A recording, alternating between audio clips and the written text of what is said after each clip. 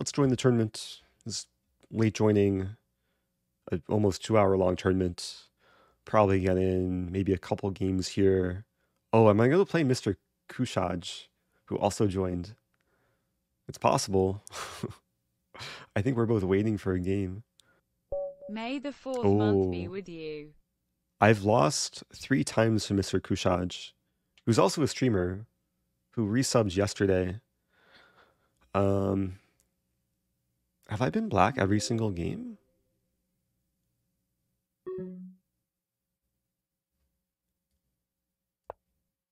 I'm trying to remember what openings we we've played before, but now I forget. Oh, Caro-Kann. Oh, this is a good prep for uh, tomorrow because Levy plays Caro-Kann. I don't know yet what I'm going to play against Levy. What do I play against Caro-Kann?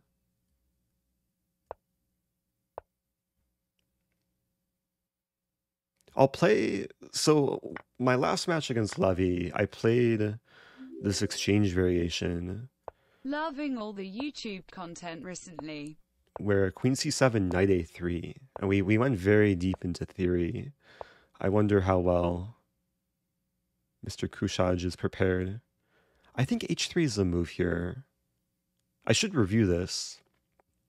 Um, because otherwise, if I develop the knight, there's bishop g4. So h3 is like a small nuance.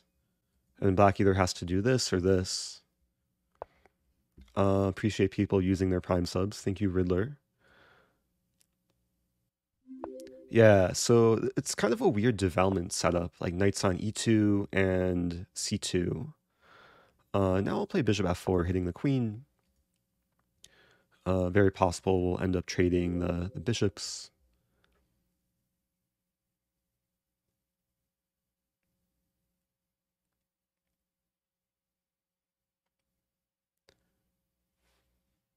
I don't have too much specific like memory of preparation from this this position, but I know it gets very strategic. Uh, usually the knight can come here. I'm not entirely sure if I want to trade off. B4 is a, a typical move. Two months with many more to come.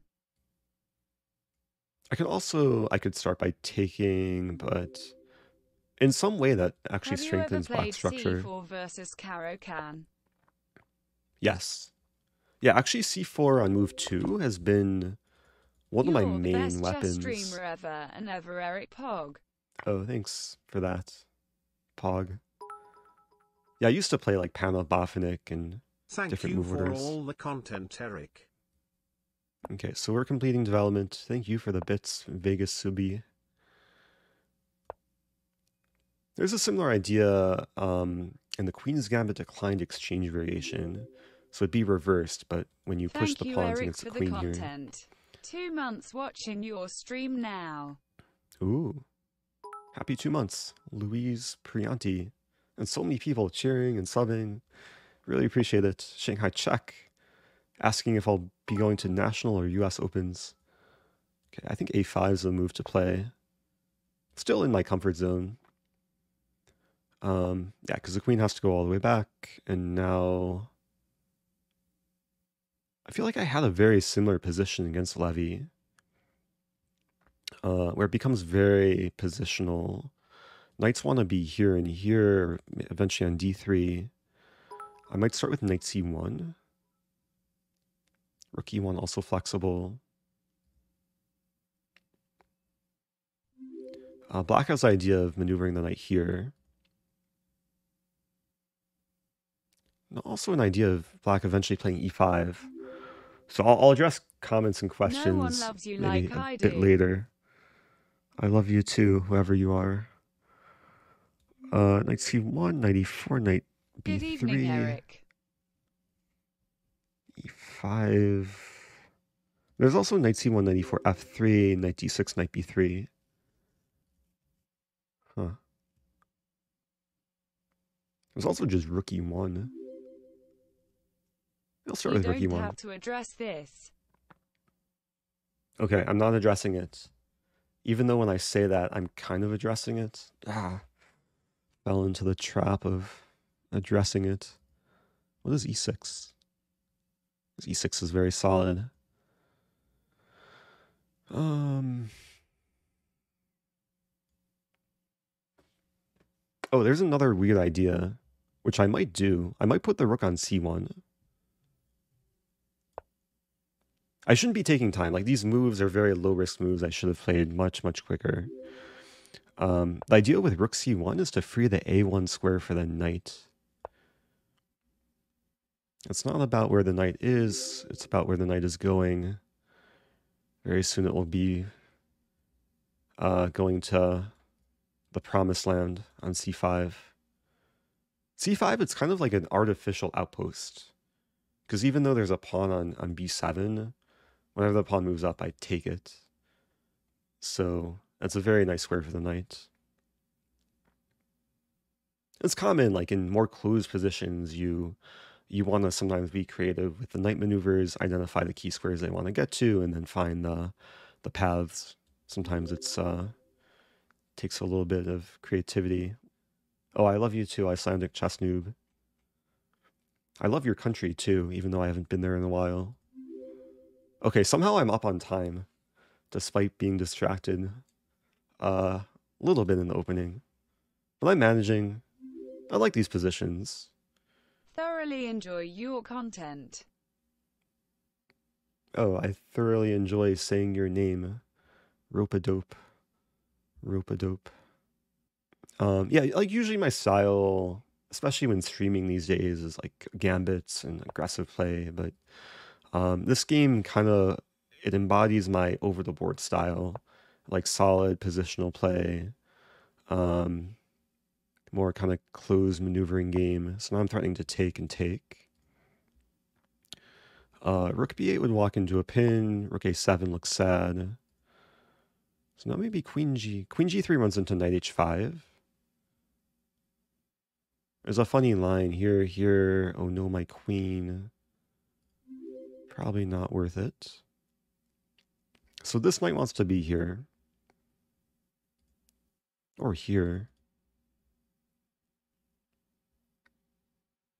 Considering f3 just restricting knight e4, but probably not necessary. More bits for the badge and reminder. Mm. Who do you think was the most creative player? Love you, Eric. Uh, maybe Dubov or Morphy. I don't know. Um, I gotta focus. After this game, I'll take some time, address the questions. There's another moment I should not be taking too much time. Maybe Rook C2. I think Rook C2 opens up possibilities. I was thinking King H1, Knight G1, but it would lead up F2 undefended. So Rook on C2 potentially defends F2, prepares some maybe eventual double up. It also opens a c1 square for this knight. I probably want to come to d3. Um, not sure if I want to trade bishops.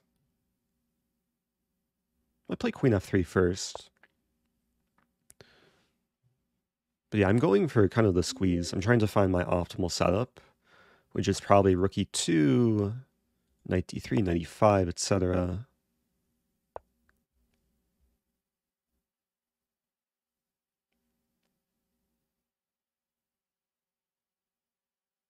Actually, my, maybe my queen should be on e3 to enable f3. This is a one piece that's kind of annoying in black's position. Actually, queen here, knight c1, queen, or knight c4, queen c1. What does Eric have a BA in? That should be on my wiki, my Wikipedia page, if that still exists. Not sure though. But I, know what I have a BA in, but I'll I'll discuss later. so now if I take, I win a pawn, but then I lose a pawn. That's probably a, not a good trade for me. Um.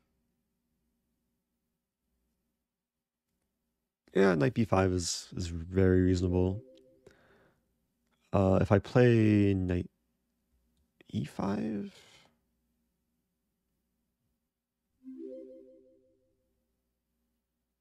knight e5, things get weird. Because f6. Actually, not sure. I could play rook c1. Solid move. Yeah, it's um the knights are tangoing. And black actually found some nice squares for the knights. Should keep in mind there's no increment in this game, so this could come down to some kind of time scramble. Okay, so this simplifies a little bit. Ah, so the black knight's finding its way to c4. Not too harmful. Put the rook back on. e-file. So I'm doubled up on the only half open file. Um, right now, I mean, e6 is very well supported, but there's a benefit of black never being able to play f6, at least in the near future. So I'm, I'm basically threatening bishop. Yeah, I'm threatening bishop g5 because here, here, there's some pin. Rook's tied down to the pawn, so there's no rook e8. And I'm actually I'm controlling a lot of squares in black's territory, so the pieces don't really have so much room to maneuver. Yeah, b6, I probably just take it. I might actually win the... Oh, never mind. Now if I play this move... So rook swings over... I might actually... I want to swing over to the a file because there's a target. The best way to do this. Bishop g5. Oh, there's a funny line. Enjoying your chill chess content. Oh, I enjoy your words. Okay, I'm gonna play bishop g5 because I feel like it, it will make black think like where to move the rook.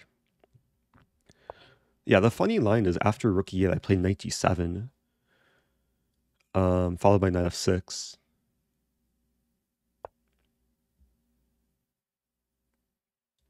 And basically, what's I think what's going to happen is I get knight f6. I either win the exchange or I get a monster bishop and then create some mating ideas.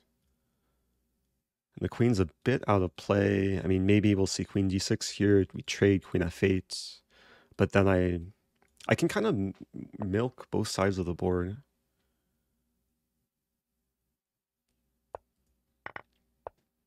I feel like a farmer. Yeah, so this is kind of um, it's a nice example of the principle of two weaknesses, where there's weaknesses on the king side, but there's also this weakness on the queen side. Um, so I'm going to try and spread black thin, like butter. Turn the milk into butter. Not sure if this metaphor makes any sense. So if rook a8, I have b5.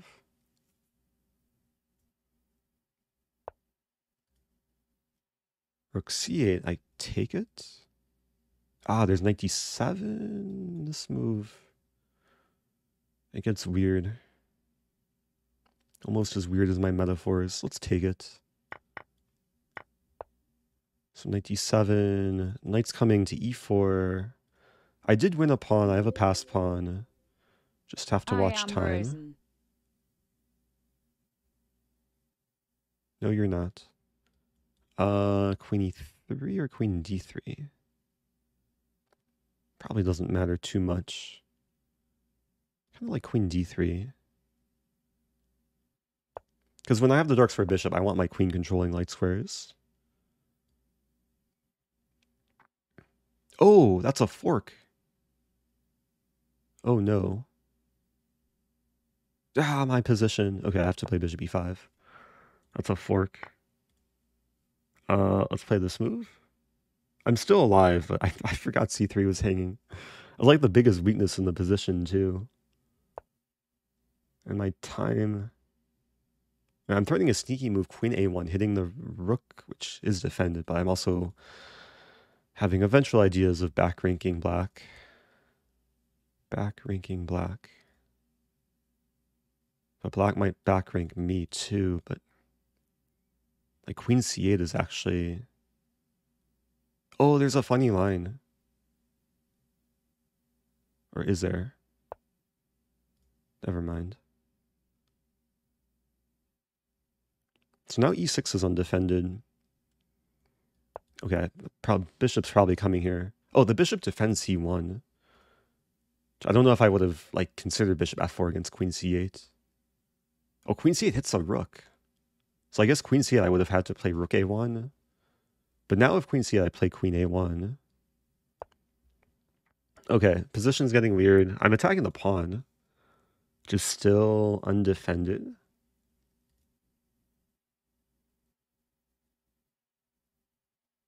I've I think I've I went wrong like blundering the pawn earlier, but now like it's still it's still looking nice. Um queen h5. I mean maybe I just push the b pawn. Pass pawns must be pushed.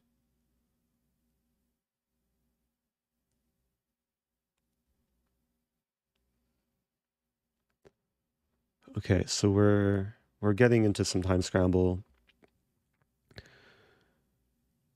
Rook a8, king g7. Like I wasn't sure whether to include rook a8, but I like the rook uh, focused on the pawn because queen h5 I can then take. Okay, that's a move. That's a reasonable move. Rook a8, king g7. f3 almost traps a knight. but doesn't quite. But maybe I play f3 anyway. Oh, there's knight g3. Oh, what is this position? We let's start with start with this. To watch out for ninety two. Okay, I'm going to put the bishop on a solid square. Have this diagonal.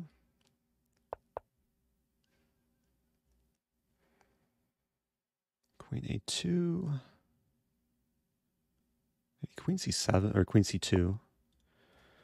Restricting the knight, threatening this now.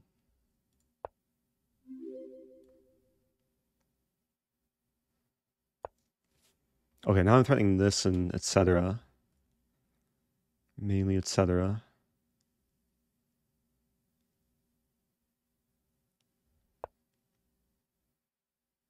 Wow. King h2. Always good to have the king diagonal one square from the knight, or two squares from the knight.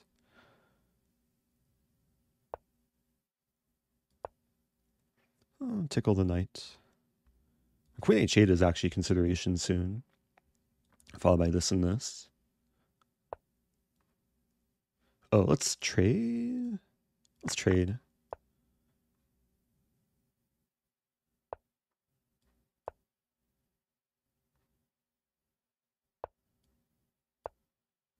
So still pressuring the rook. And it's a weird position because I'm not sure how to make progress.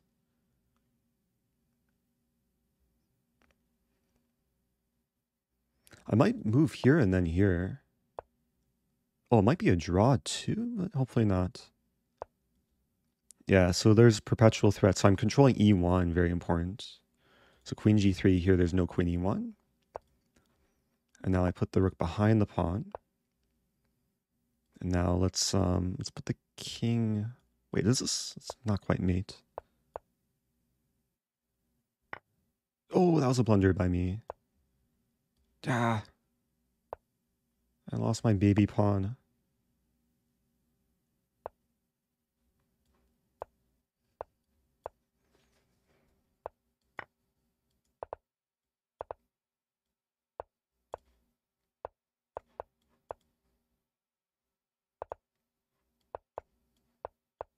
No! Ah, all my pieces.